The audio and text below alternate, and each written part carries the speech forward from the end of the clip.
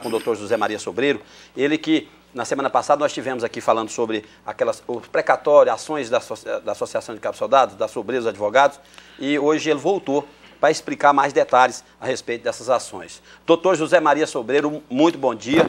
E como que está, doutor José Maria, o pagamento desses precatórios. Como é que é feito o pagamento de precatório? Eu queria que o senhor esclarecesse isso aí para, o nosso telespectador, em especial os policiais e bombeiros que têm, que são detentores dessas ações, doutor, porque estão vendendo elas aí a preço de banana. Esperaram tanto e estão vendendo elas aí a preço de banana porque estão desesperados. Explica para nós. Bom dia, doutor. Bom dia ao Sérgio, bom dia a todos da mesa, aos nossos telespectadores. É um prazer, Sérgio, estar mais uma vez aqui falando do programa Ronda Policial, podendo levar a mensagem da assessoria jurídica, da Associação de Cabos e Soldados, de todas as assessorias é, das nossas entidades, né, aos nossos associados, aos policiais militares e bombeiros militares de Goiás. Pois é, Sérgio, a gente fica muito triste é, de ver essas notícias de pessoas é, de má fé, de má índole, né, que tentam enganar os nossos policiais comprando essas ações. Isso, na realidade, nós é, constatamos, pedimos é, é, a pessoas ligadas a nós que procurassem esses escritórios no sentido de vender essas ações. Na realidade, eles não querem comprar nada. O que estão fazendo é pegando procurações dos nossos policiais militares, cobrando deles 30% para não fazer nada, né? e com essas procurações tentando ingressar nos processos que nós estamos aí, Maxwell, há 12 anos, 14 anos, lutando em prol dos policiais militares de Goiás. Bom, mas isso é quebra de ética profissional, doutor José Maria. É, será tomada providências contra essas pessoas junto à OAB e até mesmo no judiciário? Porque isso aí quebra a ética, isso aí é, é, gera é, desconforto e, e, e traz prejuízos morais, profissionais e éticos. Não tem dúvida nenhuma. É, todas as procurações é, é, desses profissionais que ingressarem no nosso processo, a cada uma das procurações será intentado uma ação ética disciplinar junto à OAB. Né? E eu, eu, mais uma vez, eu conclamo a você, não precisa, não há necessidade nenhuma de você passar procuração para ninguém, nós estamos já há 14 anos brigando por essas ações, lutando por vocês. Já chegamos até o Supremo Tribunal Federal, graças a Deus. É, tivemos sucesso em todas as nossas empreitadas e agora, já chegando ao final, não há necessidade de você tirar 30% do que você vai receber e passar para uma pessoa que não fez nada em seu favor.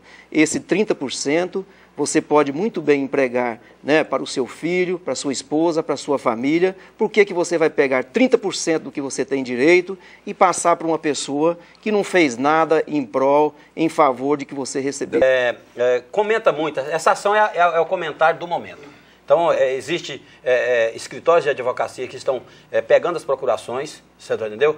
Tem, tem escritórios que estão cobrando 30%, outros estão cobrando menos, porque, na verdade, é o que foi falado aqui, na verdade não vão fazer nada.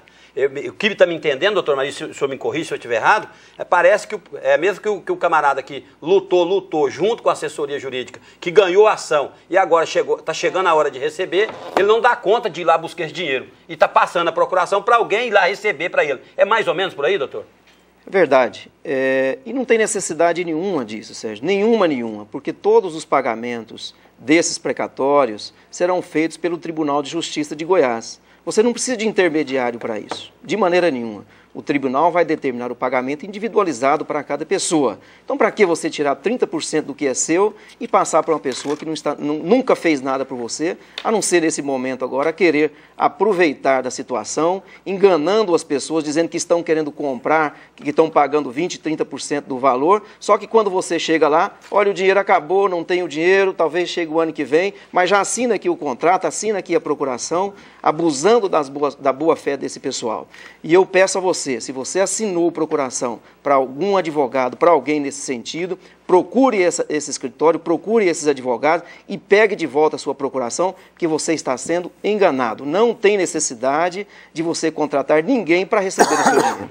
Tá certo. E aí, doutor José Maria Sobreiro, explica para nós qual é a o cronograma de pagamento, como é que vai funcionar a questão desse precatório, como é que funciona para que o nosso o, é, detentor dessa ação não saia aí caçando advogado e dando procuração para receber, porque o, o, pior já foi feito. E o que ele tem agora é de receber. Para que dar, dar procuração para os outros para receber o que é seu? Vamos lá.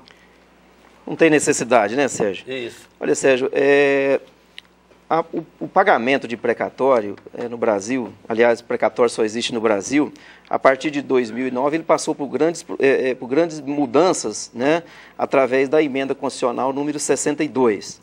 Então, hoje, é, com a emenda constitucional, 50% do que o Estado repassa para pagamento de precatório, que corresponde a 1,5% da receita líquida do Estado, 50% vai para pagamento através de ordem cronológica e 50% vai para pagamento dos precatórios através de acordo direto, RPV e o pagamento do que nós chamamos de, de, de precatórios preferenciais. Então, hoje, são essas as formas de pagamento é, é, dos precatórios de acordo com a emenda constitucional número 62. São... É, vamos, vamos fazer aqui uma, uma, uma explicação é, é, bem didática a respeito do pagamento, dessas formas de pagamento. Então, a ordem cronológica, como o próprio nome diz, aqueles precatórios mais antigos têm que ser pagos preferencialmente sobre os mais novos. Né? Então, esse é o pagamento pela ordem cronológica. O que, que é RPV? RPV se, se, chama requisição de pequeno valor. Então, são aqueles precatórios que a lei considera de pequeno valor, que no caso do Estado de Goiás, o RPV hoje foi fixado em 20 salários mínimos. Então, se você tem um crédito a receber do Estado de Goiás e ele não ultrapassa 20 salários mínimos, você pode optar pelo recebimento de RPV. E qual que é a vantagem de receber através do RPV, da, da, requisição de pequeno valor? É porque ele não tem fila hoje para pagamento. Então, se você tem um crédito até 20 salários mínimos, e na medida em que esse crédito chega no departamento de precatórios, mais ou menos num prazo de 60 dias, esse crédito está sendo pago. Enquanto que os precatórios, o governo hoje, né, que é acima desse valor, e é bom que se diga que você pode, se você tem um, qualquer valor a receber acima de 20 salários mínimos, você pode renunciar o valor e receber os 20 salários mínimos. Né? E é, é, a ordem cronológica hoje de pagamento do, do, dos precatórios nosso, o Estado hoje está pagando o ano de 1992. Então é uma Meu fila Deus. muito grande. Se você for receber realmente por ordem cronológica, então a gente vai demorar muito para estar tá recebendo. E então... é preciso eh, que se diga, Maxwell, que eh, buscar esse re recebimento após o trânsito em julgado da sentença. Ou seja, quando não liquidou. Não né? liquidou, não quando, é, quando não, não, acabou, quando não cabe mais em recurso. Aí, é, nós, é, foi por isso que nós fizemos uma Assembleia Geral da categoria no dia 31 de outubro, para discutir justamente isso, explicar as formas de pagamento é, é dos precatórios e qual, qual seria a melhor maneira para você estar tá recebendo os seus créditos. E nós explicamos tudo isso aí. E além dessas, dessas modalidades de pagamento, nós temos também o que nós chamamos de acordo direto, é que você tem um precatório para receber, você peticiona para o departamento de precatórios e você vai numa audiência que vai ser designada e você tenta fazer ali um acordo com o Estado de Goiás. E normalmente os deságios são muito grandes. Para se ter ideia, você já entra com um deságio de 50%. Então, de cara, é, tem um desconto de 50%. E aí, para cada ano que você antecipa o recebimento, é, você tem um desconto lá de 1% a cada ano que, se, é, é, que você antecipa o seu recebimento. Então, por exemplo, é, um precatório que dê entrada, por exemplo, no ano de 2013, né, é, obedecendo-se essa tabela, eu, eu, eu, me equivoquei, o deságio é de 55%. Então você já entra Perdendo com 55%, 55% já dando desconto. Então, se o precatório entra em 2013 e você quer fazer o acordo direto, o deságio total vai ser de 76%. Nossa. Ou seja, você vai receber apenas 24% do seu crédito. Então, baseando nesse acordo direto e baseando no que nós temos direito de receber através de requisição de pequeno valor, é, muitas das vezes é muito mais vantajoso você receber através do RPV. do RPV, porque ele não tem fila e recebe de imediato. Agora, nós temos também, Gilberto, é, uma outra modalidade de pagamento que são, de, de precatórios, que são os chamados precatórios preferenciais. E quem tem direito do recebimento dos precatórios preferenciais e qual que é o valor que a pessoa tem a receber. tem direito de receber os precatórios preferenciais aquele credor que tem de 60 anos acima. Ele é considerado como um credor preferencial sobre todos os demais. E também os portadores de doença grave. Então, todos os portadores de doenças considerados por lei como doentes graves são considerados credores preferenciais. E eles podem é, é, então, habilitar junto ao departamento de precatório, tudo isso, Gilberto, a nossa assessoria jurídica vai estar fazendo para os nossos, nossos associados, policiais militares e bombeiros militares. Então, ele vai se habilitar junto ao departamento de precatório e ele tem direito de receber 60 salários mínimos de imediato e o restante do, do, do crédito que ele tem, digamos que o, o, valor seja acima de 60 salários mínimos, ele continua para receber é, na ordem cronológica podendo essa diferença ser negociado através do acordo direto. Então, quem tem de 60 anos acima e portadores de doenças graves são considerados credores preferenciais e podem então estar tá recebendo na frente de todo mundo.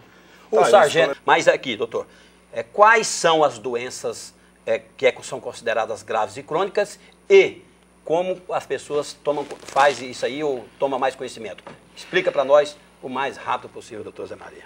Uma lei, Sérgio, é, é, determina como credor preferencial os portadores de doenças graves, não isso. as doenças crônicas, é preciso dizer isso aí. Ah, e quais são essas doenças que a lei determina como, é, é estipula como doenças graves? É. Ela é a tuberculose ativa, alienação mental, neoplasia maligna, cegueira, esclerose múltipla, hanseníase, paralisia irreversível incapacitante, cardiopatia grave, doença de Parkinson, é, espondiolatrose anquilosante, nefropatia grave, estado avançado de doença de, de Piaget, contaminação por radiação. No caso aqui, Sérgio, então os contaminados do Sérgio são também considerados como credores preferenciais, isso é importante.